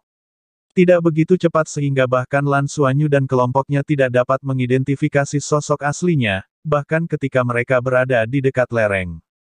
Lan Suanyu segera memberi isyarat agar kelompok itu tetap diam. Binatang aneh yang mengelilingi UNN Hui tiba-tiba berhenti. Mereka mengepung dia tetapi tidak menyerang dia. Tepat pada saat itu juga, sosok biru itu tiba. Hui Hui sangat cepat, tetapi sosok biru itu lebih cepat. Hanya dalam beberapa saat, dia akan menangkapnya. UNN Hui Hui segera merasakan bahayanya. Cincin jiwa pertama dan keduanya menyala dan dia melepaskan panah beracun, secara akurat terbang menuju sosok biru. Sosok biru itu tiba-tiba mengelak ke samping, tetapi panah mengejarnya seolah-olah ada mata yang tumbuh di atasnya. UNN Hui Hui tidak diragukan lagi telah memberikan efek penguncian pada panah itu.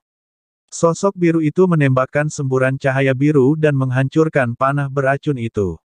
Pada saat berikutnya, cahaya biru lain tiba di depan UNN Hui Hui.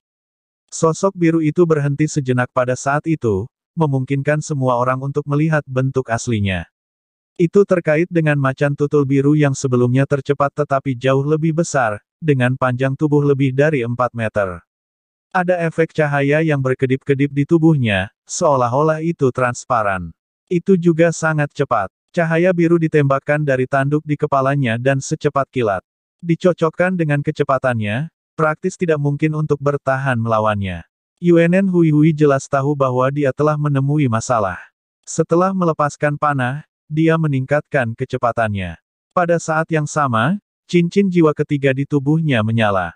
Busur itu terbuka sekali lagi, tapi kali ini, anak panah itu berubah menjadi merah. Langkah kakinya tiba-tiba menjadi ilusi. Meskipun cahaya biru di belakangnya cepat, dia mampu menghindarinya dengan gerak kakinya. Lan Suanyu terkejut melihat gerakan kakinya karena dia menemukan bahwa gerakan kaki Yuenen Hui Hui sangat mirip dengan gerakan kaki yang diajarkan guru Nana kepadanya. Tali busur berdengung saat lampu merah meledak. Cahaya biru lain ditembakkan dari tanduk macan tutul biru petir dalam upaya untuk memblokir serangan itu. Tabrakan cahaya merah dan biru menyebabkan ledakan keras saat api meletus di langit dan segera menyerbu ke arah macan tutul biru petir yang masuk. Apakah itu keterampilan jiwa ketiganya? Panah peledak. Lan Suanyu berbisik pada dirinya sendiri. Suhunya sangat tinggi. Setelah menembakkan panah, Yuenen Hui Hui dengan cepat melesat pergi. Di balik nyala api, cahaya biru berkedip-kedip. Macan tutul biru petir sekarang memiliki bercak kulit hangus di tubuhnya saat meraung marah. Beberapa sinar cahaya biru ditembakkan dari tanduk di kepalanya menuju Yuenen Hui Hui. UNN Hui Hui sekali lagi melakukan gerakan kaki yang sama, menghindari sinar dan melepaskan panah demi panah. Meskipun macan tutul biru petir cepat, ia tidak mampu mendekati UNN Hui Hui karena panah peledaknya. Namun, binatang aneh lainnya telah mengelilinginya. Sambil menekan macan tutul biru petir, UNN Hui Hui tidak lagi mampu menyerang binatang aneh lainnya. Pengepungan mereka segera terbentuk. Tubuh UNN Hui Hui bergerak dengan cekatan dan tidak menunjukkan sedikitpun kepanikan atas kesulitannya. Sebuah desisan keluar dari mulut UNN Hui Hui. Terlepas dari jaraknya, Lan Suanyu dan kelompoknya dapat mendengar suaranya. UNN Hui Hui tiba-tiba berteriak, menghamburkan hujan roh. Busur roh bintang ungu di dalamnya telah berkembang dengan aura cahaya di sekitarnya dan berubah menjadi perak. Dia melihat ke atas dan menembakkan panah perak ke langit. Setelah melepaskan anak panah, busur di tangan UNN Hui Hui dengan cepat meredup, sementara kecepatannya turun jika dibandingkan dengan sebelumnya. Dia hampir saja terkena seberkas cahaya biru, sementara macan tutul biru petir mendekatinya. UNN Hui Hui memegang busur dengan kedua tangan dan memblokir serangan macan tutul, busur itu sedikit menekuk. Pada saat berikutnya, UNN Hui Hui terlempar lebih dari 20 meter. Dia mendarat dengan ringan di lantai tanpa cedera. Pada saat ini, panah perak yang dia tembak ke langit meledak, rambut perak turun dari langit seperti hujan dan menutupi area tersebut. Keterampilan jiwa pertama UNN Hui Hui menyala. Lan Suanyu ingat bahwa UNN Hui Hui pernah meneriakkan nama keterampilan jiwa, perhatian dewa. Rambut perak yang turun dari langit sepertinya dipengaruhi dan dibimbing oleh perhatian Tuhan dan menyerang semua binatang aneh dengan akurat. Hampir semua binatang aneh yang mengelilinginya dipukul. Mengikuti serangkaian suara, celepuk, sebagian besar makhluk aneh itu ditembak dan dibunuh. Macan tutul biru petir berada di bawah serangan bulu perak juga, tapi cahaya biru mekar dari tubuhnya dan menghilangkan rambut peraknya. Itu terus mengejar UNN Hui Hui. Sangat kuat, Bing Tianliang mengerutkan kening dan berkata dengan serius, Chapter 269, Dukungan dari Matahari Biru. Memang, Yuan and Hui Hui benar-benar kuat. Dalam waktu sesingkat itu, pengepungan monster hampir dimusnahkan. Serangan spiritual Rain Tide diluncurkan sekarang, tidak hanya bisa secara bersamaan menyerang beberapa target, tetapi kekuatan serangannya juga tidak ada yang bisa diejek. Banyak monster memiliki penghalang pertahanan yang muncul pada mereka, Tetapi kecuali untuk macan tutul biru petir, mereka semua tertembus hampir seketika. Ratusan monster yang pernah mengepungnya sekarang sudah mati. Pada saat itu, macan tutul biru petir sekali lagi mengangkat kepalanya ke langit dan mengeluarkan suara gemuruh. Detik berikutnya, pemandangan aneh muncul di matahari ungu dan matahari biru yang tergantung di langit. Pada saat ini, Matahari biru sepertinya dipengaruhi oleh raungan macan tutul biru petir, dan cahayanya benar-benar berkedip. Saat berikutnya, Lightning Blue Leopard tiba-tiba menghilang, dan pada saat berikutnya, petir biru besar jatuh dari langit, langsung menuju Yuan En Hui Hui. Adegan ini mengejutkan Yuan En Hui Hui dan membuat kerumunan di lereng bukit tercengang. Situasi apa ini? Bisakah macan tutul biru petir meminjam kekuatan matahari biru di langit? Apa sebenarnya matahari biru itu? Meskipun mereka hanya bisa terkejut, Yuan En Hui Hui tidak bisa karena pada saat yang sama, dia juga harus menghadapi serangan mendadak ini. Pada saat itulah Yuan En Hui Hui benar-benar menunjukkan kekuatannya yang kuat. Di antara matanya dengan warna berbeda, yang ungu merah tiba-tiba bersinar terang, dan tubuhnya sendiri menjadi ilusi dalam sekejap. Di belakangnya, siluet yang lebih tinggi darinya, tapi dengan penampilan yang persis sama muncul seketika. Ledakan. Di tengah gemuruh yang dahsyat, petir biru besar jatuh, menyebabkan gempa bumi besar dan mengguncang tanah dengan lampu listrik biru yang tak terhitung jumlahnya tersebar di sekeliling. Semua perubahan ini terjadi terlalu cepat, begitu cepat bahkan jika semua orang ingin menyelamatkan Yuan En Hui Hui, itu sudah terlambat. Namun ketika petir biru itu menyambar Yuan En Hui Hui, itu benar-benar menembus tubuhnya, dan pada saat itu, Yuan En Hui Hui dan siluet di belakangnya tampak menjadi halus. Petir biru hanya menghantam tanah dengan kekuatan ledakan yang sangat besar. Kedua Yuan En Hui Hui tersapu oleh kekuatan ledakan yang melemparkan mereka sejauh puluhan meter. Kedua sosok itu bergabung menjadi satu lagi, wajah cantik Yuan En Hui Hui tampak sedikit pucat. Dia dengan cepat menoleh dan lari. Dia tidak berani tinggal lebih lama lagi. Macan tutul biru petir meledak dari lubang yang ditinggalkan oleh ledakan. Itu terlihat sedikit lamban, tapi masih mengejar Yuan En Hui Hui. Semua ini terjadi begitu cepat. Sebagian besar dari delapan orang di sisi Lan Suanyu masih menahan napas. Hanya sekali Blue Leopard pergi, semua orang bisa merasa sedikit lega. Bersihkan medan perang. Lan Suanyu mengeluarkan suara rendah, dan melompat keluar lebih dulu. Yang lainnya bergegas untuk mengikutinya. Pada saat ini, bahkan Lan mungkin tidak meragukan Lan Suanyu. Pertempuran barusan membuktikan bahwa kewaspadaan Lan Suanyu tidak berlebihan. Mereka tidak hanya dapat melihat kekuatan dan beberapa kartu truf Yuan En Hui Hui, tetapi mereka juga melihat pola serangan aneh monster di planet ini. Jika mereka tidak hanya menyaksikannya dan jika bukannya Yuan En Hui Hui itu mereka, Tiba-tiba dihadapkan dengan serangan kombinasi dari Lightning Blue Leopard dengan Matahari Biru, mereka kemungkinan besar akan tertangkap basah dan bahkan mungkin panik.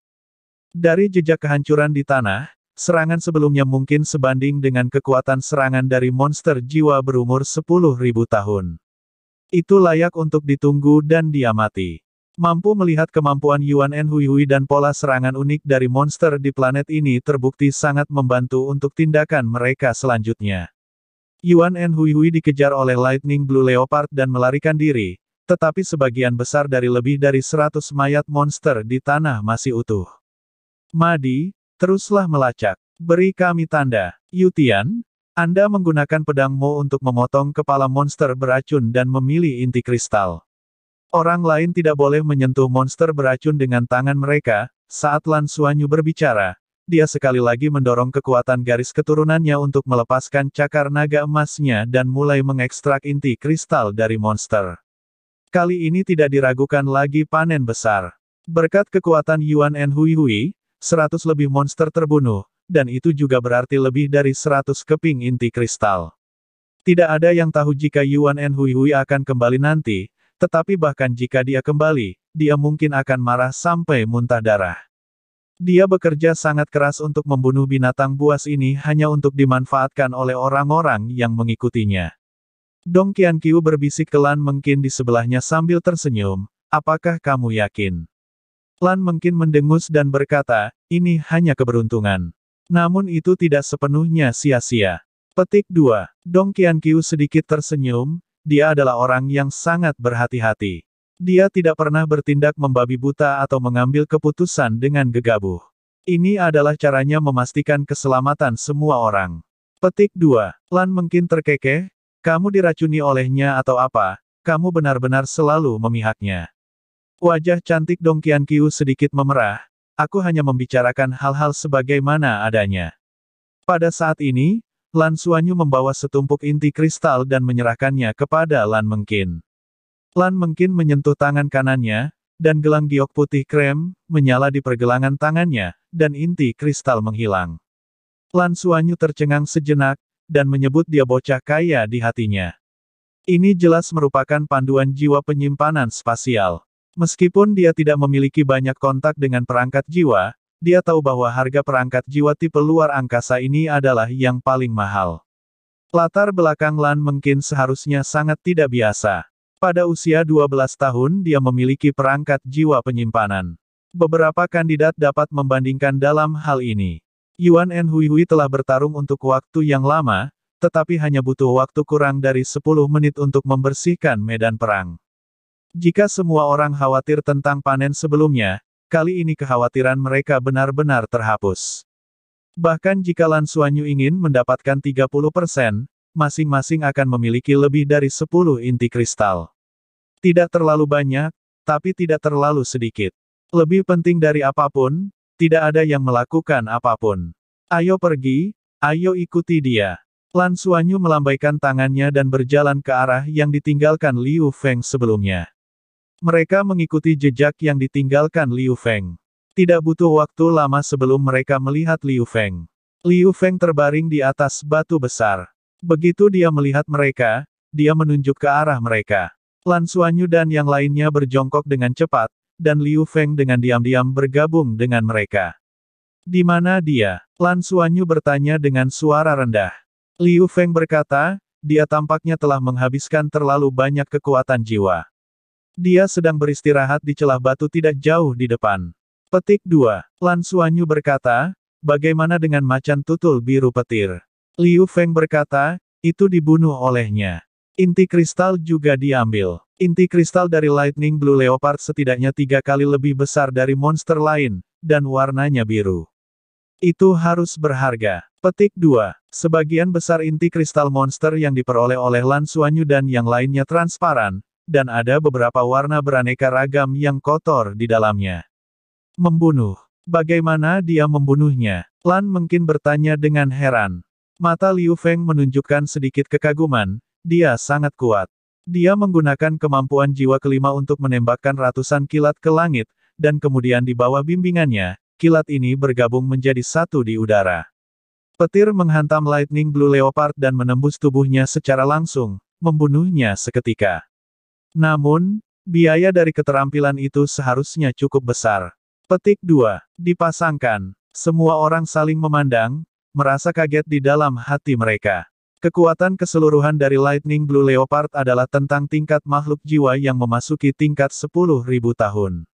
Dengan kata lain, Yuan En Hui Hui mampu membunuh binatang jiwa 10.000 tahun dengan kekuatannya sendiri. Kekuatannya benar-benar tak tertandingi. Bahkan Lan mungkin merasa bahwa dia lebih rendah untuk pertama kalinya. Inti kristal biru, inti kristal biru, Lan Suanyu bergumam di kedua sisi, Matanya sedikit bersinar. Lan mungkin meliriknya, jangan bilang kamu berpikir untuk merampoknya. Lan Suanyu mengerutkan bibirnya dan berkata, bagaimana mungkin? Saya rasa dia akan beristirahat di sini untuk sementara waktu. Kita tidak bisa membuang waktu. Ayo lakukan dengan cara ini, kita bagi menjadi tiga kelompok dan berburu beberapa monster di sekitar tempat peristirahatan Yuan and Hui Hui. Semuanya, Periksa waktu dan kembali untuk berkumpul dalam satu jam. Chapter 270 Formasi Segitiga. Sambil berbicara, dia berjongkok dan menggambar segitiga di tanah. Kami akan bertarung di dekat tiga simpul dari segitiga ini untuk menarik monster di sekitarnya sehingga mereka tidak akan mempengaruhi istirahat Yuan and Hui Hui. Kamu bisa membunuh sesuka hati, tapi setiap orang harus memperhatikan keamanannya dulu. Jika Anda bertemu monster sekuat Lightning Blue Leopard, segera bergerak lebih dekat kedua pihak lainnya. Tidak perlu menunggu satu jam. Petik 2. Baik. Bing Tianliang setuju, dan memimpin Lin Donghui dan Yu Tian menuju salah satu dari mereka. Dong Qianqiu melirik Lan Suanyu dan memberi isyarat padanya sebelum menarik Lan Mengkin pergi. Lan Suanyu mengerti apa yang dia maksud, dia bisa memanggilnya secara langsung saat menghadapi bahaya. Ketika mereka semua pergi, Qian Lei berbisik, apakah kamu benar-benar tidak mengambil kesempatan untuk merampok Yuan En Hui Hui? Bukankah inti kristal biru itu berharga? Petik 2. Lan Suanyu menatapnya dan berkata, kita tidak bisa menangkapnya sekarang. Perannya belum selesai. Dia bisa menyerang dari jarak jauh, dan kekuatan serangannya sangat kuat. Dia memiliki waktu yang jauh lebih mudah daripada kita untuk membunuh monster di area yang luas.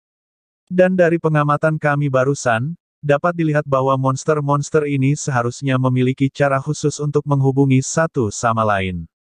Semakin banyak Anda membunuh, semakin menarik monster. Ini persis skenario yang sama dengan pertemuan Yuan En Hui Hui sebelumnya dengan kelompok besar dan macan tutul biru petir yang sangat kuat itu. Kami mengelilinginya dan membunuh monster, di satu sisi itu untuk melindunginya dan membiarkannya beristirahat. Di sisi lain, secara bertahap akan menarik lebih banyak monster. Saat itu, kita bisa berkumpul kembali dan ketika Yuan En Hui Hui yang sudah cukup istirahat menemukan begitu banyak monster secara alami akan mulai membunuh mereka semua. Petik 2. Liu Feng tidak mendengarkan dengan cermat penjelasan selanjutnya dari Lan Suanyu. Dia hanya memperhatikan kalimat pertama Lan Suanyu. Apa maksudmu kamu tidak bisa mengambilnya sekarang? Anda benar-benar berencana untuk merampoknya. Pada saat ini, dia mendengar Lan Suanyu berbicara kepadanya, Madi, pernahkah Anda memperhatikan di mana inti kristal yang diperoleh Yuan En Hui Hui ditempatkan? Apakah dia memiliki perangkat penyimpanan jiwa?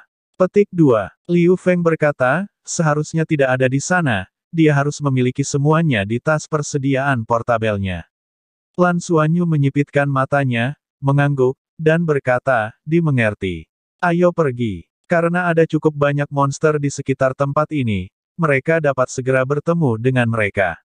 Lan Suanyu berada di tengah, menggunakan elemen es dan api untuk mengendalikan serangan. Qian Lei memanggil naga bumi sebagai kekuatan utama.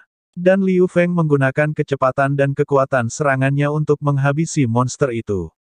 Kawanan kurang dari 10 ekor tidak cukup untuk menjadi ancaman bagi mereka. Dibandingkan dengan makhluk jiwa, Pola serangan monster di sini relatif sederhana. Setiap monster hanya memiliki satu kemampuan bakat, dan itu tidak terlalu kuat. Mereka juga tidak bertemu monster sekuat Lightning Blue Leopard sebelumnya. Tapi seperti yang telah dinilai Lan Suanyu, karena jumlah monster yang mereka bunuh meningkat, jumlah monster yang datang mulai meningkat. Suanyu, menurutmu berapa banyak Yuan En Hui Hui yang perlu istirahat? Qian Lei bertanya pada Lan Suanyu dengan bingung. Lan Suanyu berkata, saya tidak tahu. Saya tidak terbiasa dengan kemampuannya. Namun, berdasarkan konsumsi sebelumnya, ia harus istirahat setidaknya satu jam untuk pulih sepenuhnya. Lalu kita bisa bergerak sesuai waktu minimum itu dan tidak membiarkan dia istirahat lagi garis bawah garis bawah. Petik 2. Kian Lei bertanya dengan bingung, bagaimana kita tidak membiarkan dia beristirahat? Lan Suanyu secara alami berkata, Bawa monster itu padanya dan biarkan dia bangun dan bekerja.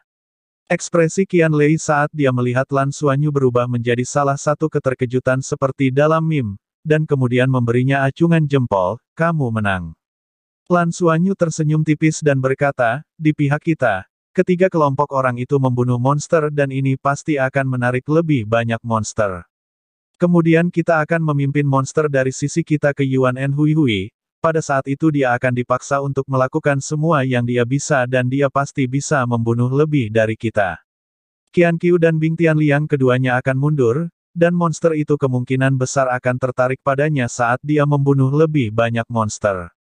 Dari pengamatan, kelompok terbesar ini memiliki paling banyak 100 monster dan tidak terlalu banyak kelompok sebesar ini. Karena itulah Yuan En Hui Hui bisa beristirahat sejenak setelah membunuh satu kelompok. Macan tutul biru petir mungkin adalah pemimpin kelompok sebelumnya. Jika di setiap daerah ada kawanan seperti itu, maka apa yang akan kita bawa kepadanya nanti harus dari daerah ini. Petik 2. Kian Lei tersenyum pahit, setelah menipu dia, apa yang harus kita lakukan jika dia tahu? Dia punya lima cincin. Petik 2. Lan Suanyu berkata, ketika saatnya tiba, kita akan membicarakannya, siapa tahu dia mungkin akan berterima kasih kepada kita. Kian Lei tertegun, terima kasih. Apakah kamu serius? Cukup obrolan? Ayo cepat bunuh musuh, monster lain akan datang. Satu jam berlalu dengan cepat, Lan Suanyu dan yang lainnya membunuh lebih dari 30 monster satu demi satu. Ketika kelompok lain yang terdiri lebih dari 20 monster menyerbu masuk, Lan Suanyu memanggil Liu Feng dan Qian Lei, menoleh dan melarikan diri. Arah lari bukanlah titik pertemuan, tapi tempat Yuan En Hui Hui beristirahat. Melihat jarak antara celah batu tidak jauh, Lan Suanyu menunjuk ke Liu Feng. Liu Feng memilih tombak naga putih, dan melepaskan bangkitnya naga putih. Seekor monster diangkat ke udara, Lan Suanyu terpental dan menendang monster itu langsung ke celah batu. Rumput perak biru berpola emas dilepaskan dan dililitkan di sekitar Liu Feng. Kecepatan Liu Feng meningkat tajam, membuat mereka berdua berbalik dan lari. Bang! Mayat monster terlempar keluar dari celah batu, dan segera menarik monster yang mengejar dari belakang. Panah ungu ditembakkan satu per satu, ke arah mereka. Dan tiga orang yang telah menarik monster, pergi melalui sudut yang tak terlihat dari celah batu. Mengandalkan kekuatan rohnya, Yuan En Hui Hui pasti merasakan seseorang lewat, tetapi tidak mungkin untuk mengetahui orang macam apa itu. Menghadapi monster yang masuk, dia secara alami melanjutkan untuk membunuh mereka tanpa ragu-ragu. Lan Suanyu dan ketiganya kembali ke titik pertemuan, tidak lama kemudian, tim Bing Tianliang dan dua gadis Dong Qiu dan Lan Mengkin dari dua sisi lainnya juga kembali. Secara alami, mereka tidak kembali menarik monster, tetapi kembali setelah membunuh mereka semua. Dibandingkan dengan Lan Suanyu dan yang lainnya, kelima orang ini telah memanen lebih banyak. Tiga orang dari tim Bing Tianliang telah memanen lebih dari 50 inti kristal, sementara Dong Qiu dan Lan Mengkin telah memperoleh lebih dari 60 inti. Lan Suanyu berinisiatif menyerahkan 30 inti kristal yang telah mereka panen ke Lan Mengkin. Lan Mengkin memutar matanya, tapi tetap menerimanya. Semakin kita membunuh monster, semakin banyak mereka. Akankah mereka menemukan kita dengan mengikuti jejak kita? Bing Tianliang bertanya pada Lan Suanyu. Lan Suanyu tersenyum tipis, dan berkata, tidak, bahkan jika mereka mencoba mereka akan menemukannya dan bukan kita. Dia membunuh lebih banyak dari kita. Selama dia di sini, dia seperti magnet. Monster-monster itu akan tertarik padanya lebih dulu. Selama masing-masing dari kita membunuh monster lebih sedikit daripada dia, ketika monster datang, mereka akan memprioritaskan dia. Sebelumnya, kami sebenarnya membantunya mencegat monster yang datang kepadanya dari tiga arah. Sekarang kami tidak mencegat mereka. Secara alami, monster yang datang kemudian akan pergi ke dia lebih dulu. Petik 2. Segera, kata-kata Lan Suanyu dikonfirmasi. Dengan Yuan En Hui Hui mulai membunuh monster lagi, ditambah aura pembunuhan sebelumnya, semakin banyak monster mulai bergegas ke arahnya. Sekelompok lusinan dari mereka tidak bisa mengancamnya sama sekali, dan dengan cepat dibunuh olehnya. Namun, bagaimanapun, dia hanya satu orang, dan segera, ada ratusan lagi yang datang. Sejak saat itu, Yuan En Hui Hui terpaksa beralih ke pertarungan dan lari. Setelah istirahat satu jam, kekuatannya sepertinya telah pulih lebih dari setengah. Dan karena dia lebih berpengalaman dari sebelumnya, Kecepatannya membunuh monster mulai meningkat. Dengan bantuan kemampuan roh pertama, panah biasa sebelumnya terkadang tidak bisa membunuh monster dalam satu pukulan. Sekarang dia menyesuaikannya sedikit dan menembak matanya secara eksklusif yang membunuh monster dalam satu tembakan. Kecepatan membunuhnya jelas meningkat. Namun, seperti yang telah dinilai Lan Suanyu, tampaknya kerumunan ratusan monster akan dipimpin oleh monster yang mirip dengan Alpha. Segera, seekor burung ungu berperut besar muncul di atas kepala Yuan En Hui Hui. Elang ungu berperut besar ini jauh lebih kuat dari yang mereka lihat di pesawat. Itu mulai memuntahkan cahaya ungu dengan kekuatan luar biasa satu demi satu. Cerita bersambung, terima kasih yang telah menonton, jangan lupa like, comment, and subscribe guys, karena subscribe itu gratis, bye.